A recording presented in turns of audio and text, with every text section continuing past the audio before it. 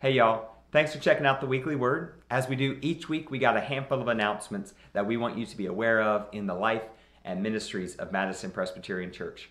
The first announcement is a pretty big one. Back on Friday, March 13th, your session gathered at a called meeting and they voted unanimously to discontinue all physical gatherings here at the church. And so we shifted our model of church to a virtual model. And for five plus months, we have been worshiping virtually and doing all of our Christian formation virtually. We have, during this season, remained connected to the body of Christ through these virtual ministries. They also, your session, also formed a task force that was to give them recommendations on how to respond faithfully to this virus. So last Sunday, your session gathered once again at a called meeting. This time, it was to entertain a recommendation from that task force. Your session ultimately made that recommendation a motion and they discussed it. The motion was for a return to in person worship beginning on Sunday, September 13th. Your session ultimately, after much conversation, approved that motion unanimously.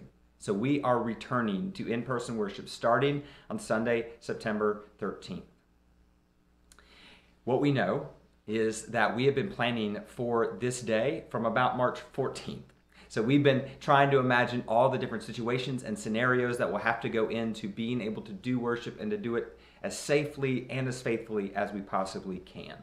So I can't give you all the details of what worship is going to look like in this video, but next week you're going to get a video that's only about our return to in-person worship. We're going to answer all of the questions that have probably come up for you in about the last 45 seconds. Okay, so check out that video next week. We know that this news um, brings joy for a lot of people, folks who have been clamoring to get back together, be able to worship God together in our sanctuary. There's a lot of joy around that. But we also know that there's a lot of sadness because there are many of you who know that it is not safe for you to gather yet in large groups. And so we want you to know that we will continue our virtual ministries. We will continue particularly virtual worship. It'll look a little bit different, but you will still be able to worship God with your church family until the time when we can all gather back together in person.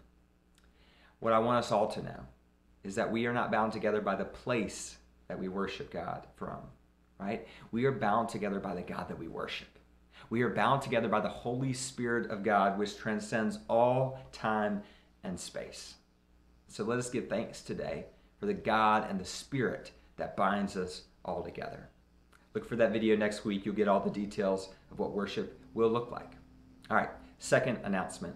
Our preschool is doing a fundraiser as they do most falls. They are selling flats of pansies for $18 a piece. If you're interested in buying one or a couple flats of pansies, we invite you to email our preschool director, Ashley Brown, at preschoolmpc at gmail.com. That's preschoolmpc at gmail.com. Ashley also wanted me to pass along a word of thankfulness for your prayers for her. She has recovered from the virus. However, she still has some lingering fatigue. And when she gets back to being the preschool director here physically every day, she's going to need all the energy she can muster. So we invite you to continue to be in prayer for her as she recovers. All right, finally, this Sunday, we are overjoyed to have a guest preacher with us. The Reverend Katelyn Gordon Cooke will be bringing God's good word to us. I've already gotten a preview of the sermon. It's amazing. You're going to want to watch it. You're going to learn a lot from it. You're going to want to share it with somebody that you love. So log on this weekend and take part in virtual worship once again. Take part and use all those resources that we provide to you each week. And then share them with somebody that you love.